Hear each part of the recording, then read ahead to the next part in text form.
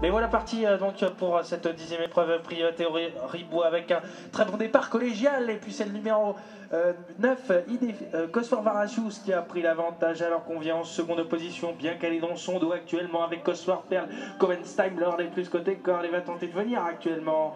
Alors qu'on ferme la marche du peloton avec Brianson Venus les concurrents abordent le tournant et pas de changement notable en tête actuellement. C'est le numéro 8, Idéfix des Vallons, qui a librement l'avantage alors qu'on vient maintenant en seconde position avec Kosovar Varasius euh, qui est là et qui va tenter euh, de se rapprocher. Cohen Tangel n'est pas loin également. Les concurrents sont dans le tournant. Ils vont aborder euh, la phase finale de l'épreuve dans quelques instants. Et toujours Idéfix des Vallons, Thomas Bourrin qui a librement l'avantage alors qu'on va tenter de venir l'inquiéter maintenant avec Cosfor Perus qui vient maintenant de mieux en mieux se rapprocher. C'est la Kazakh maintenant de Jean Miel à l'extérieur, les concurrents qui vont aborder la phase finale de l'épreuve avec toujours la même impulsion euh, en tête, c'est-à-dire il défixe des Cosfor Varachou qui va tenter de venir également, Razel Danzel n'est pas loin juste devant Cohen Steiner qui vient décaler, et Cosfor Perus également en pleine piste, les concurrents sont maintenant à moins de 200 mètres du disque final avec Cosfor Perus qui a semble-t-il pris l'avantage côté corps mais qui va tenter euh, maintenant de se relancer avec le 9 Cosfor Varachous.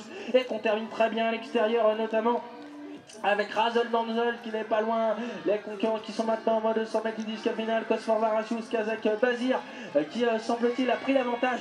Et c'est euh, la Kazakh Bazir qui s'impose dans cette épreuve. Le numéro 9, le supplémentaire à l'épreuve, Cosfor Varasius qui s'impose.